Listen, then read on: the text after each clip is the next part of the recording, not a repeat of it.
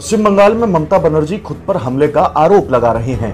अब सीएम पर हमला हुआ है तो सवाल खड़े होना भी लाजमी है सवाल यह है कि जब ममता भीड़ के बीच हैं तो सुरक्षा व्यवस्था का इतना हल्का बंदोबस्त कैसे सवाल यह भी कि ममता बनर्जी के दावे के बीच इन दो चश्मदीदों के बयान से क्या समझा जाए दरअसल, ममता कहती हैं कि नंदीग्राम में उन्हें चार पाँच लोगों ने धक्का दे दिया और वह गिर गईं।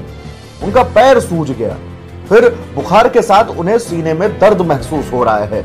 वह क्या कह रही हैं, इसे आप भी सुनिए। चार पाँच आदमी ने हाँ। मैं गाड़ी का इधर में खड़ा होकर रोक कर कर रहा था। हाँ। चार पाँच आदमी ने मेरे को गाड़ी पूरा बंद कर दिया। हाँ। और पाँव हमको पूरा चोट हो गया। देखो कितना पुल कहाँ कहाँ आपको चोट लगी है दीदी? पूरा पुल गया। ओके दीदी क्या कलकत्ता वापस जाएँगे। अभी जा रहे हैं। अभी बहुत दर्द हो रहा है। अभी ज़ोर और ये कहाँ पे हुआ दीदी? एग्जैक्ट जगह कौन सी है? बरौलिया बाज़ार बरौलिया बाज़ार दीदी आप बरौलिया बाज़ार बरौलिया बाज़ार में दीदी आप कितने लोग थे पब्लिक बहुत थे पब्लिक का बात नहीं है चार पाँच चार पाँच चार पाँच और कहाँ का चोट लगा? आपको कहाँ का चोट लगा? पैर में? फूल गया पूरा। हाँ। दीदी तो बांग्ला बोल रहे दीदी किसी की साजिश साजिश है? किसी की साजिश है दीदी? साजिश है किसी की? लोकल पुलिस लोकल पुलिस से कोई नहीं था। एसपी भी नहीं था लोकल पुलिस कोई नहीं था। वहीं चश्मदीदों में से एक चितरंजन दास कहते हैं कि मैं तो मौके पर मौजूद था। मुख्यमंत्री अपनी कार में बैठी हुई थी लेकिन कार का दरवाज़ा खुला हुआ था। एक पोस्टर से टकराकर कार का दरवाज़ा बंद हो गया। किसी ने ना तो दरवाजे को छुआ, ना ही धक्का दिया। हाँ दरवाजे के पास कोई भी नहीं था।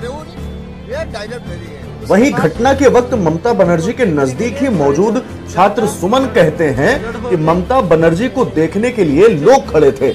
इसी बीच उन्हें गर्दन और पैर में चोट लग गई। किसी ने धक्का तो नहीं दिया और गाड़ी धीरे धीरे चल रही थी। देखने के लिए घिरे उस समय। उनके चोट लग गई गले में और पैर में। सब उनको घेर कर खड़े हुए थे देखने हाँ, देखने के लिए खड़े हुए थे। मेनली दरवाजे में किसी ने धक्के देने की जो नहीं नहीं नहीं उस धक्के तो नहीं दिए। लेकिन घेर कर खड़े घेर के खड़े हुए थे। और मैंने जब गाड़ी में रनिंग अवस्था में स्लोली चल रहा था।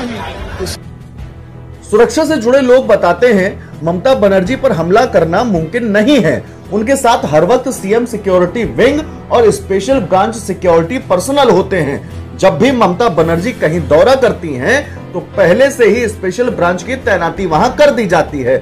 इस वजह से ऐसा पॉसिबल ही नहीं कि कोई वहाँ तक पहुंचकर उन पर हमला कर दे।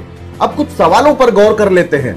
सवाल यह है, ममता नंदीग्राम में समर्थकों के साथ नामांकन करने पहुँची थी।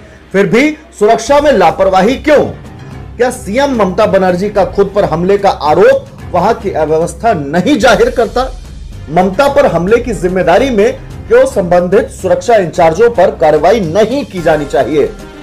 क्यों ममता बनर्जी इतने कमज़ोर सुरक्षा घेरे के साथ इतनी बड़ी भीड़ के बीच थी? वहीं भारतीय जनता पार्टी ने कहा है कि ममता बनर्जी लोगों की हमदर्दी बटोरने के लिए ड्रामा कर रही हैं। बीजेपी ने मांग की है कि मामले की सीबीआई जाँच करानी चाहिए। उधर ममता बनर्जी पर हमले के मामले को टीएमसी चुनाव आयोग तक ले जाने की तैयारी कर रही है।